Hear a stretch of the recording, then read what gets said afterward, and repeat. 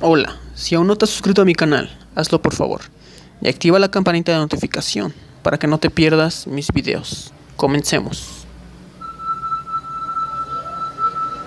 Todas las cosas del universo y la vida misma están constituidas por dos fuerzas cósmicas, dos energías opuestas pero complementarias, que hemos escuchado en toda civilización y religión, de aquellos símbolos que permanecen y están estables.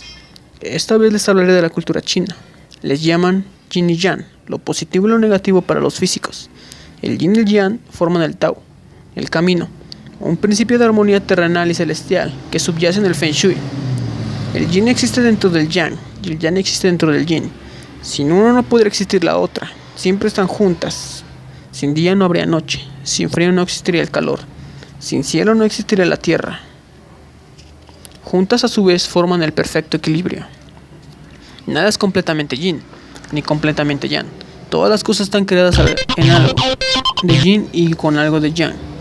Los seres humanos también nos liamos con el yin y el yang. Y las personas con más yin suelen ser tranquilas, relajadas, sensibles, creativas y con mucha imaginación, pero propensas a la depresión. Las personas con más yang son rápidas, activas, entusiastas e impulsivas, y tienden a ser irritables y coléricas. Una de las formas de averiguar si una persona es yin o yang es comparándose con otras personas. Si alguien es yin, le parece que los demás son apurados e impacientes y viven un torbellino de actividad.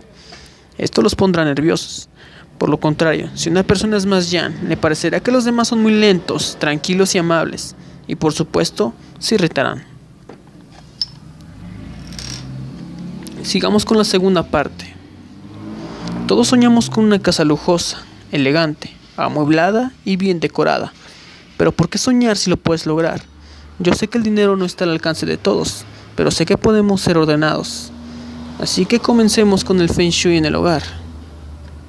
La base fundamental del Feng Shui es estimular el mayor flujo de chi o energía como todos conocemos a nuestras casas para beneficiarnos. Esto no solo proporciona un entorno saludable, sino que se crea una atmósfera armoniosa capaz de traer prosperidad en todos sus aspectos. Asimismo debemos buscar lugares donde se genere o se acumule esa energía positiva, porque el bienestar físico, mental y emocional de una persona depende del lugar de donde vive. El chi personal de cada uno se combina con la energía del chi del lugar. El chi circula en movimientos circulares, por sendas ondulares y redondeadas. Cualquier cosa o situación puede generar chi positivo. Por ejemplo, las notas de una melodía, la pintura de un bosque, una escultura hermosa, una actitud positiva por parte de nosotros, una planta, un paisaje lleno de vida, un cuarzo, una buena iluminación, un lugar muy limpio. Lo opuesto de chi es sha, viento tóxico, y es una corriente dañina que tiene un efecto adverso cualquier lugar, objeto o persona. Es una energía similar al filo de un cuchillo que corta. El chi positivo. El propósito del Feng Shui es eliminar o curar el Sha. Existe de un lugar y así evitar consecuencias negativas de la vida de las personas. El Sha viaja en línea recta, por sendas puntiagudas afiladas y por ángulos. Se le llama también como flechas secretas o envenenadas.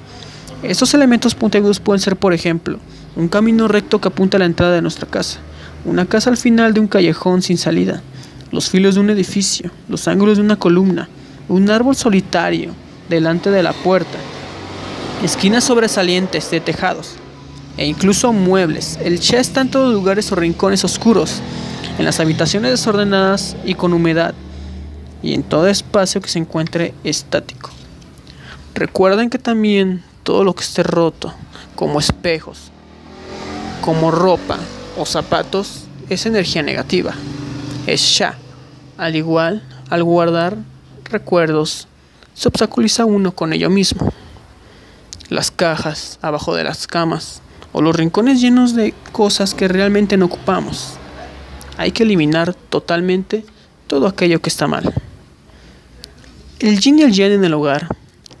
Se dice que si dividimos la casa con una línea en el centro, la mitad frontal es yang, hay más movimiento, luz y ruido, y la mitad posterior es yin, generalmente estamos en los dormitorios. Entonces se debe de armonizar la parte frontal con más cosas yin y el fondo de la casa con más yang, para que haya un equilibrio.